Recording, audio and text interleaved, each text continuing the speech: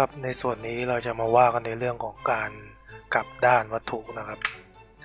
กลับด้านก็มีหลายแบบ เช่นกลับซ้ายไปขวากลับบนไปล่าง แต่ในที่นี้ผมจะพูดถึงการกลับซ้ายไปขวาก่อน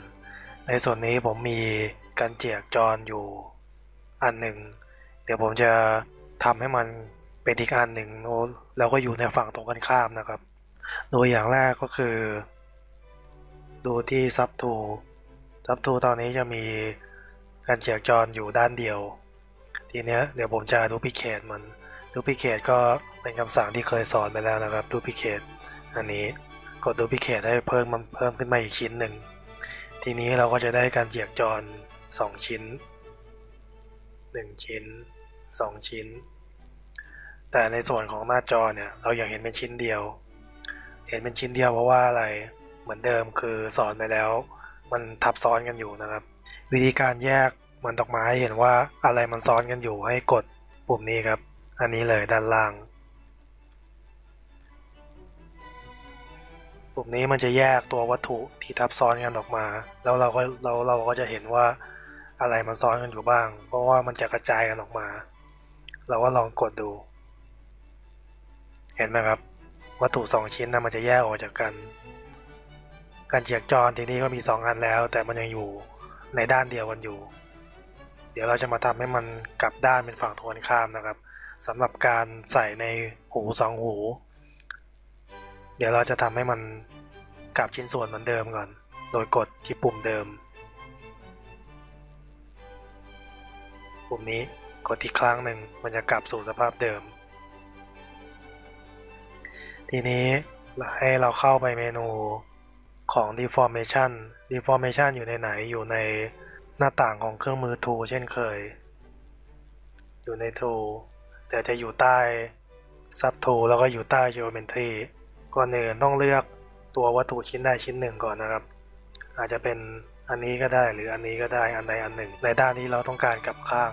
ทีนี้เราเลือกที่ deformation deformation จะอยู่ตรงนี้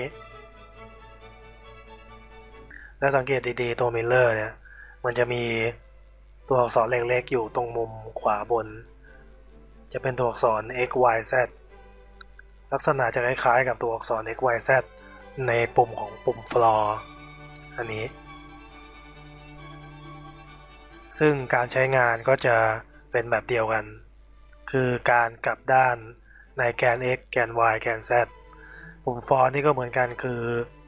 เปิด พื้นเส้นกริดในแกน x แกน y แล้วก็แกน z ทีนี้เรามาลองกดเป็นเป็นแกน y ดู นี่ก็เป็นฟังก์ชันที่ใช้บ่อยเอามาก ๆ เลยนะครับจำเป็นที่จะต้องจำไม่ได้ ทีนี้เรามาทวนกัน ในส่วนของการกลับด้าน ให้เราดูพิเคตวัตถุขึ้นมาชิ้นหนึ่งจากของเดิมซึ่งมีอยู่แล้ว คืออันนี้ ดูพิเคตขึ้นมาโดยกดปุ่มนี้ดูพิเคตคือให้มันเพิ่มขึ้นมาอีกชิ้นหนึ่ง ทีนี้พอได้มาอีกชิ้นหนึ่งแล้ว ในหน้าต่างของตัวการทำงานเนี่ย เราจะยังไม่เห็นว่ามันอยู่ไหน แต่จริงๆมันยังมีอยู่คือมันทับซ้อนกันอยู่ครับ วิธีการทำให้มันแยกออกจากกันเพื่อดูว่ามันทับอะไรกันอยู่โดยการกดปุ่มนี้ปุ่มด้านล่างสุดเลยของฟังก์ชันด้านขวา แล้วก็กดเพื่อให้มันแยกออกจากกันเราจะได้เห็นว่าอะไรมันทับซ้อนกันอยู่ และวิธีการทำให้มันกลับไปที่เดิมก็คือกดปุ่มเดิม มันก็จะกลับไปที่เดิม ทีนี้มาดูกันวิธีในส่วนของทำให้มันกลับด้าน ในฝั่งตรงกันข้าม คือให้กด deformation deformation คืออันนี้ อยู่ใน หน้าต่างใหญ่คือหน้าต่างของ Tool แล้วก็อยู่ด้านล่าง Sub Tool ทีนี้กด Deformation เข้าไป แล้วก็กดตัว Mirror Mirror คือตัวนี้ โดยใช้ลักษณะของแกนเป็นแกน x ตัวหนังสือเล็กๆ ตรงนี้ทีนี้กด Mirror ไป ก็จะปรากฏ ให้เห็นว่าไอตัวที่เราเลือก Sub Tool ตัวที่เราเลือกเนี่ยมันกลับด้านเรียบร้อยแล้ว ทีนี้เราก็มาแยก 2 ตัวนี้ออกจากกัน โดยการกดปุ่ม W ที่คีย์บอร์ด เพื่อให้เกิดกิสโมหรือว่าปุ่มด้านบน ปุ่มนี้ปุ่ม Move อันนี้ก็เคยสอนไปแล้วนะครับ แล้วก็เลื่อนออกจาก